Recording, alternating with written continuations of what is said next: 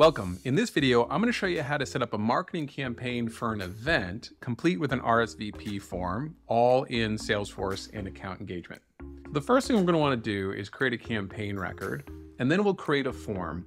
And specifically in that form, we want to make sure that there's an RSVP field so that your customers can say either they're going to attend or they're not going to attend. From there, we can then add them to a specific list for follow-up depending on their response in that form. So let's get started. We're in account engagement here. The first thing to do is click on the campaigns uh, tab and then click new to create a new campaign. Let's say that we want to take our customers out to mini golf. So we'll start with the year for the campaign name, and then we'll say mini golf customer appreciation event.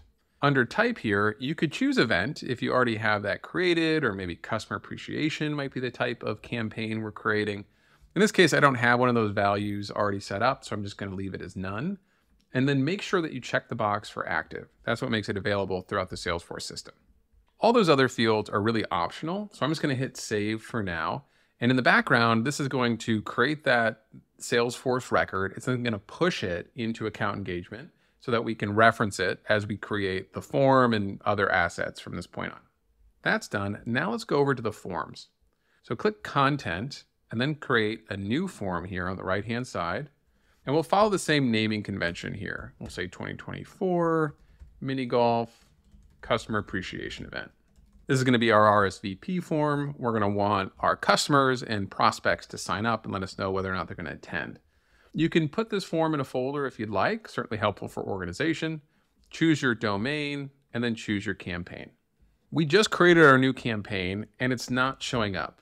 So that's okay. It might take five minutes or so for that record to come across. In the meantime, I'm just going to associate this form with a fallback campaign, our website tracking one. So I'll select that, and I can always come back here later and then change it to the campaign we already created. Then click Next for the fields. And so these fields are fine, first name, last name, company, and email. You maybe want to add phone number as well. But the most important thing is we want to add an RSVP dropdown. So they have to select whether or not they're coming or they're not. If you look at our fields here, I don't think we currently have one that represents whether or not they're attending this event. So that's something we're going to need to create. Go ahead and click cancel and just hit next here through the other steps so that we can save this and then come back to it. For a layout template, go ahead and choose whatever design you like best. Give the submit button some text, hit next, and hit next, and hit save. So we're just saving it right now. We're going to come back to it because we need to create a new field first to capture whether or not they're going to RSVP for our event. To do that, go to Account Engagement Settings, and then on the left-hand side, we have Object and Field Configuration. Go to Prospect Fields, and let's create a new one. I'm going to call this Attending Event, question mark. And we could sync this with a Salesforce field, but we don't need to. Really, we just need this on our form so that when somebody submits it, we know that they're planning on attending. Don't need that in Salesforce necessarily, so I'm going to leave that blank. Under sync behavior, I'll choose use account engagements value since it's not syncing with anything. And then for type, go ahead and choose dropdown. We'll choose yes and no. So the question will be attending event, yes or no. Create that custom field now we can go back to our form in the content tab and add it to our, our fields, our questions that we're asking on the form.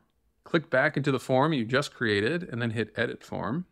Go to fields and let's add a new field. Drop down here. If you scroll down to the bottom, there's our new field, attending event. And we can change the label if we want. Maybe we'll say, will you be attending? The data format is text, and yes, we definitely want to make this required on our form. And then choose load default data. What that's going to do is it pulls in the values automatically that we have associated with this particular field and click Save Changes. Click Next. Double check your settings here. And make sure you're happy with the layout template and the Submit button text. Under Style, I typically like to use uh, label alignment of above. And I also like to use the asterisk as the required field character, but that's up to you. And now we come to thank you content. So for the thank you content, I'm going to write in here, thank you for submitting our form. If you want to be extra personalized, you can use this little lightning bolt here to insert dynamic content based on whether or not they said yes or no to that field.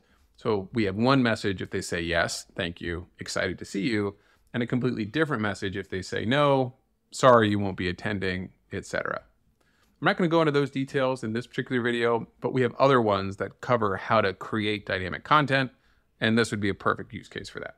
What I do want to show you, though, are these completion actions here. So what we can do now is create conditional groups for these completion actions. So previously, what would happen is when somebody filled out that form, all of these automations would, would automatically fire for that person. Not the case anymore. We can actually evaluate what they submitted on that form and take different actions depending on those values. So let's add a conditional group here, and we'll use the prospect custom field, attending event. That's the new field we created. And if that value is equal to yes, we can then add them to a campaign. So we'll add them to our 2024 mini golf campaign with the responded value here if they answered yes. Now, we could even go a step further and we could have custom statuses on that campaign for yes and no, um, or attended or didn't attend. But for now, let's use the default for responded. And we could create another conditional group here based on that same prospect custom field, but if they answered no. So if attending event is equal to no, we could then notify somebody internally. So let's say we want to notify the assigned user. Whatever person is already assigned to that customer is going to get notified. Or we could notify somebody specifically by choosing notify user, and then I'll choose myself here. So if somebody says that they're not attending, maybe I want to be notified of that so that I can reach out to them personally. If they are attending, then we're going to add them to a campaign with that responded status. We can add additional actions to this group as well. Uh, a common thing might be that you want to add them to a list so you can send them some automated emails. Well, we can do that easily here. Add to list, and let's say we're going to add them to this nurture list if they responded as yes. Ah, one thing to note before we finish up these completion actions here is if you're going to have an action that adds a prospect to a Salesforce campaign, they need to exist in Salesforce first, or that action just gets ignored. So for any current customers that already exist in Salesforce, this isn't a problem. They're already in the Salesforce database.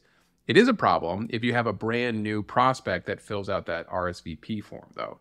So just to be safe, I actually need to add an extra step before we add them to the campaign that assigns them to somebody.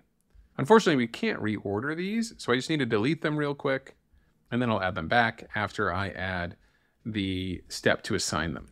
Let's add an action here to assign prospect.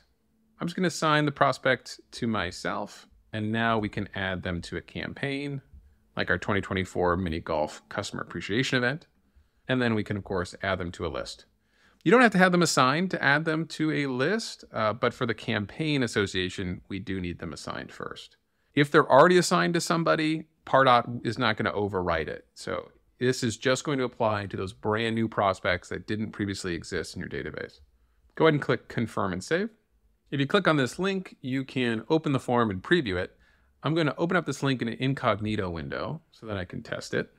Put in some dummy information here. Will you be attending? Yes, I will. Then click submit. We're going to see the thank you content show up automatically or the dynamic content if you choose to add that. And now if we come back to our form, we should see that a new person has submitted it. Scroll down, there's our test person. Here's our test person. You can see on the right that they submitted our RSVP form. You can see what the conversion point was that converted them from a visitor to a prospect. If we look at lists, we can see that they've been added to the nurture list. And if we look at audits, we can see that they were added and if we look at campaigns, we should see them show up under our 2024 mini golf campaign. We've got one member here, click view all, and there's our test person. So that works just fine. Let's try it one more time, but answering no. So again, I'm gonna open this up in an incognito window.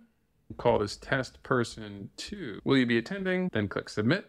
Once again, we get that thank you content. If we come back to our form in Pardot, you can see we now have test person two has submitted. If you click into the person, what you're going to find is that they're not assigned to anybody. They are not a member of our nurture list, and they're not in Salesforce if they're brand new. They certainly wouldn't be a member of that campaign. And we know that they're not in Salesforce because there's no cloud here next to their name. The one thing that should have happened, though, is that an internal user, myself, should have gotten an email notifying me that we had a new submission uh, on that form.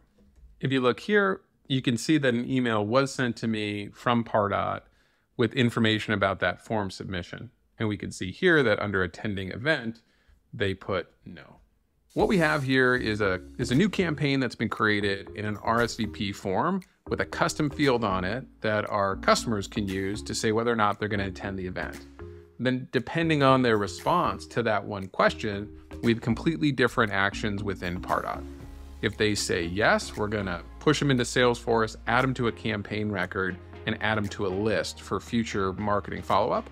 If they say no, we're notifying one person within the company so they can choose to follow up personally if they want to. I hope you found this video helpful. If you did, hit like and subscribe for more. Thanks for watching.